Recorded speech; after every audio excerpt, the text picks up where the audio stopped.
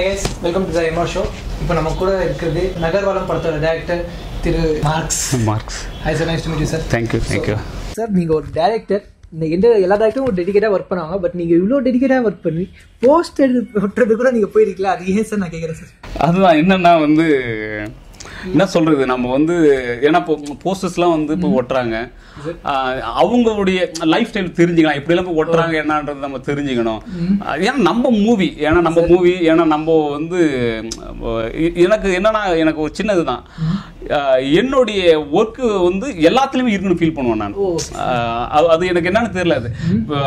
மற்றவங்க ஒரு ஒர்க் பார்த்தா கூட எனக்கு அதுல வந்து அவங்க கரெக்டா பண்றாங்களான்ற ஃபீல் என்ன அறியாமலே அங்க போயிடும். அப்படிப்பட்ட ஃபீல் எனக்கு. அப்போ அப்படி இருக்கும்போது தான் சரி ஓகே அது இல்லாமல் என்னன்னா ஃபர்ஸ்ட் டைம் வந்து இறுதிக்கட்ட படப்பிடிப்புன்னு சொல்லி விட்ட போஸ்ட் நினைக்கிறேன் அது. அஹ் ஓகேங்களா அப்போ அப்படி இருக்கும்போது சரி எப்படிலாம் போஸ்டர்ஸ் விட்டுருக்காங்க என்னன்னு சொல்லி பார்க்கணும் அப்படின்ற மாதிரி நான் போனேன் நான். இப்போ ஹீரோ எனக்கு ஜென்ரலாக ஃபோன் பண்ணாரு. எங்க இருக்கிறீங்க என்ன அப்படின்னாரு. இது மாதிரி நான் போஸ்டர்ஸ் ஒட்டிட்டு இருக்கிறேன் அப்படின்னாரு. அப்புறம் உடனே என்னங்க நானும் வரேன் அப்படின்ட்டு வந்து அப்படி சேர்ந்து சேர்ந்து ஆரம்பிச்சாரு. Super sir. இந்த ஃபோட்டோ எப்படி சார்? இந்த போட்டோ என்ன சொல்றது? இது வந்து அநேகமா ஷூட்டிங்க்கு முன்னாடி எடுத்த போட்டோஸ் நினைக்கிறேன். ஆமா ஆமா.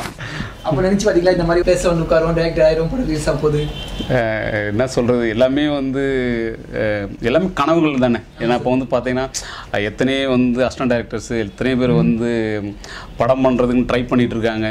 அவங்களுக்கு இன்னும் சரியா வாய்ப்புகள் கிடைக்கல. இது எல்லாமே இந்த- அதுவும் குறிப்பாக பார்த்தீங்கன்னா எங்களை மாதிரியான லைஃப் ஸ்டைல் இருக்குல்ல நம்ம குறிப்பாக வந்து பார்த்தீங்கன்னா சினிமாவில் வந்து பார்த்தீங்கன்னா மற்ற டெக்னீஷியன்லாம் பிரச்சனையே இல்லை. அவங்களுக்குலாம் ஒரு மினிமம் கேரண்டின்ற ஒரு லைஃப் ஸ்டைல் இருக்கு. மற்ற மற்ற டெக்னீஷியன்லாம் குறிப்பாக டேரக்டர்ஸ் மாதிரி இருக்கிறவங்களுக்கு எல்லாருக்குமே வந்து பார்த்தீங்கன்னா லைஃப்ல ஒன்ஸ் ஜெயிச்சாதான்.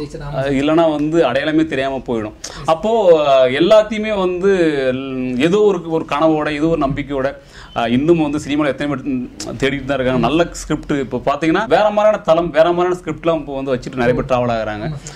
அப்போ அப்படி இருக்கும்போது இப்போ இந்த இதில் நான் போராடி இப்போ ஒரு ஃபர்ஸ்ட் மூவி முடிச்சு முடிச்சிருக்கேன் நான். அப்படிதான் நான் வந்து சொல்லணும். கலகு படத்துல அசிஸ்டன்ட் டைரக்டர் ஒர்க் பண்ணிருக்கீங்கன்னு சொன்னீங்க. அந்த எக்ஸ்பீரியன்ஸ் எப்படி சார் அசிஸ்டன்ட் டைரக்டர் ரொம்ப கஷ்டமா? ஆக்சுவலாக என்னன்னா வந்து இது மிகப்பெரிய ஒரு அனுபவங்க. என்னன்னா அந்த மூவி வந்து எனக்கு ஃபர்ஸ்ட் மூவி அது. ஷூட் வந்து முழுக்க முழுக்க அது சார் நாங்கள் போன டைம் வந்து பார்த்தீங்கன்னா நாங்கள் போன டைம் ஃபுல்லாக மழை டைம் அப்போ என்னன்னா ஷூட் எல்லாமே அதான் எல்லாமே எக்ஸ்டீரியர் அந்த மாதிரி தான் இப்போ எனக்கு என்னன்னா இது நமக்கு ஃபர்ஸ்ட் படம் எப்படா என்ன பண்ணுறதுன்னு சொல்லி எனக்கு இருந்தேன் நான். அப்போ என்னன்னா அந்த படத்தில் ஃபர்ஸ்ட் நான் தான் கிளாப் ஆஸ்டன்ட் நான். ஓகேங்களா? அப்போ என்னன்னா எனக்கு ரெண்டு நாளாக கிளாப் அடிக்கவே தெரியல எனக்கு. டேரக்டர் சொன்னார் இது மாதிரிங்க நீங்கள் நாளைக்கு காலைல கிளாப் அடிக்கலாம் நீங்கள் ஊருக்கு கிளம்புங்க அப்படின்ட்டு. எனக்கு நைட்டுலாம் வந்து தூங்கவே இல்லை எனக்கு. ஐயோ போச்சு லைஃப் என்னடா நம்ம இவ்வளோ நாள் வந்து ட்ரை பண்ணோம். ஐயோ என்னடா கிளாப் அடிக்க தெரியல என்ன பண்ணுறது நாளைக்கு காலையில் என்ன ஆகுமோ ஆஹ் டி- அவர் சொல்லிட்டாரு. நீங்கள் நாளைக்கு காலையில் நீங்கள் போனால் நாளைக்கு நைட்டு உங்களுக்கு டிக்கெட் போடுறேன் நீங்கள் போங்க அப்படின்ட்டாரு. இந்த மாதிரியான நிறைய சம்பவங்கள் அந்த அந்த நைட்டு வந்து அவ்வளோ எனக்கு தூக்கமே இல்லாமல் ட்ரை இது பண்ணிட்டு அப்புறம் வந்து ஈஸியாக வந்து இது பண்ணி அந்த மாதிரியான சில சுவாரஸ்யமான சம்பவம் நடந்து அதை தாண்டி என்னன்னா லாஸ்ட் வரைக்கும் நான் தான் டைரக்டரோட இருந்தேன். மற்றவங்க எல்லாமே அதான் மற்றவங்க எல்லாம் படம் ஃபுல்லாக ஒர்க் பண்ணிட்டு போனாங்க. பட் போஸ்ட் ப்ரொடக்ஷன் வரைக்கும் நான் தான் இருந்தேன்.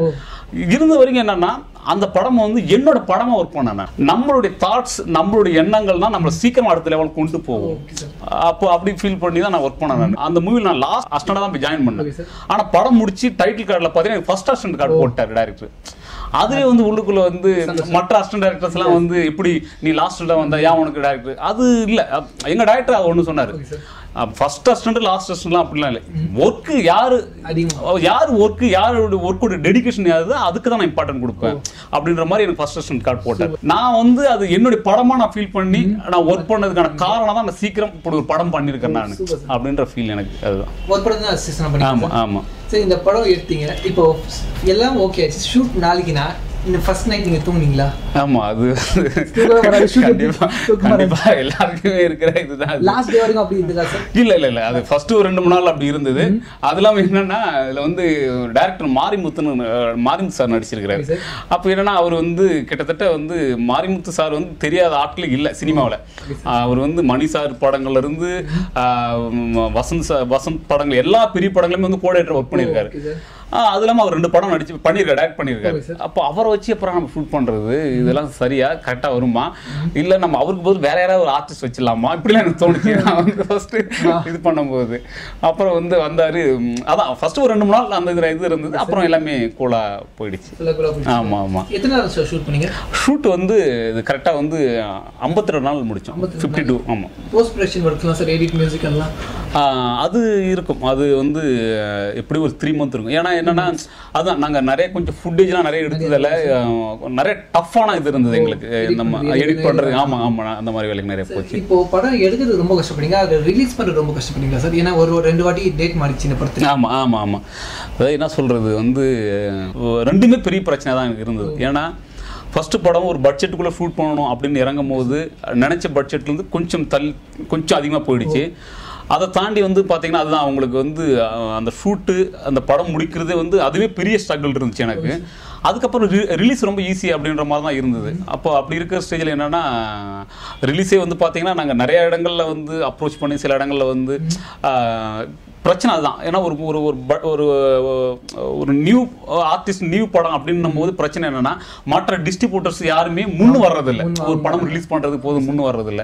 அப்போ அப்படி டிராவல் ஆயிட்டு இருக்கும்போது தான் இப்போ வந்து எங்களுக்கு இப்போ சக்தி ரெட் கார்பெட் ப்ரொடக்ஷன் தான் ப்ரொடியூஸ் பண்ணது. அது சக்தி வேலன்னு சொல்லிட்டு சக்தி. அவர் வந்து இப்போ வந்து பார்த்தீங்கன்னா ரீசெண்டாக துருவங்கள் பதினாறு ரிலீஸ் பண்ணாரு. அடுத்து வந்து கடுகு ரிலீஸ் பண்ணாரு. இப்போ ரீசெண்டாக எட்டு தோட்டாக்கள் ரிலீஸ் பண்ணாரு. அப்போ அப்படி வந்து இருக்கும்போது எங்களுடைய படத்தை பார்த்தாரு. பார்த்துட்டு எங்க படத்தை அவர் ரிலீஸ் பண்ண வந்தார். இப்போ எங்களுக்கு வந்து என்னன்னா அவர் ரிலீஸுக்கு வந்ததுக்கு அப்புறம் எங்களுடைய படம் இன்னும் அடுத்த லெவல் வேற ஒரு வைடு போயிருக்கு. அது வந்து என்னன்னா அவருக்கு நாங்க மிகப்பெரிய தேங்க் ஏன்னா அவருக்குன்னு ஒரு நேம் இருக்கு. அப்போ அப்படி இருக்கிற ஒரு- நேம் உள்ள ஒரு பேனர் வந்து எங்க படத்தோட பேனரோட டைப் பண்ணி ஒரு படம் ரிலீஸ் பண்றாங்கன்றது வந்து ரொம்ப ஒரு மாதிரி ரொம்ப சப்போர்ட்டிவா ரொம்ப எனர்ஜியா இருக்கு அந்த விஷயம். ஆமா ஆமா. ஸோ எல்லாமே ஃபினிஷ் ஆச்சு. படம் இப்போ ரிலீஸ் ஆக போகுது. மக்களுக்கு எதாவது சொல்றீங்களா? மக்களுக்கு நம்ம சொல்ற அளவுக்கு நம்ம வந்து இன்னும் நம்ம வந்து என்ன சொல்றது? நாமளும் வந்து இன்னும் அடுத்தடுத்த படங்கள் பெருசாக பண்ணி இன்னும் ஜெயிக்கல. இப்பதான் போராடி நம்ம வெளில வரோம் நம்ம. அதனால் வந்து என்னென்னா கண்டிப்பாக தேட்டருக்கு வந்து படத்தை பாருங்கள் ரொம்ப போராடி கஷ்டப்பட்டு இந்த படத்தை நான் வந்து முடிச்சிருக்கேன் நான். கண்டிப்பாக நீங்கள் தேட்டரில் வந்து பார்த்தீங்கன்னா இந்த படம் டெஃபினட்டாக அவங்கள வந்து ஏமாற்றம் கொடுக்காது. நீங்கள் படம் முடிச்சுட்டு வரும்போது நீங்கள் கொடுத்த காசுக்கு ஓகே ஒரு நிறைவான படம் பார்த்துருக்கின்ற ஃபீல் உங்களுக்கு கண்டிப்பாக வரும். படம் பாருங்க சப்போர்ட் பண்ணுங்க. எங்களை மாதிரியான நிறைய டேரக்டர்ஸ் போராடி இந்த மாதிரியான படங்கள் முடிச்சு கொண்டு வராங்க. உங்களுடைய ரிவ்யூ உங்களுடைய கையில் தான் இந்த மாதிரி படங்கள் இருக்கு. படம் பாருங்க. பிடிச்சிருந்தா தயவு செய்து ஃப்ரெண்ட்ஸுங்களுக்கு சப்போர்ட் பண்ணுங்க. ஃப்ரெண்டுங்களுக்கு ஷேர் பண்ணுங்க. நீங்க படம் புக் பண்ண பார்த்தீங்கன்னா கீழே டிஸ்கிரிப்ஷன் லிங்க் இருக்கு. எஸ்பேஸ் cinemas ticket new and book my show அங்கே போய் நீங்க கிளிக் பண்ணீங்கன்னா ஸ்ட்ரைட்டாக அந்த லிங்க் போய் நீங்க டிக்கெட் புக் பண்ணலாம்.